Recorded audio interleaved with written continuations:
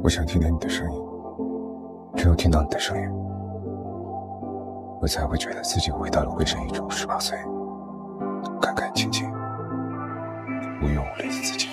我们怀疑他替考，以后有什么打算？上大学。你当初为什么要答应你阿姨？你不在乎你自己的人生了吗？你出轨的那一天，早就毁了我们的生。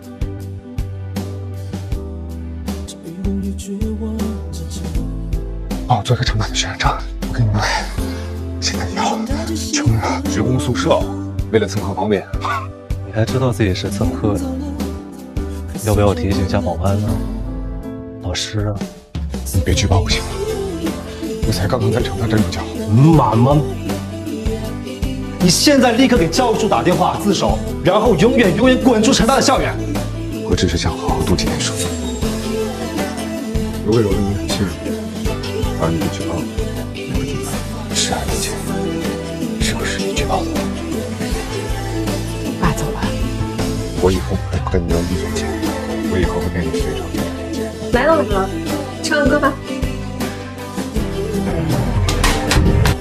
我出事了。我快出事了！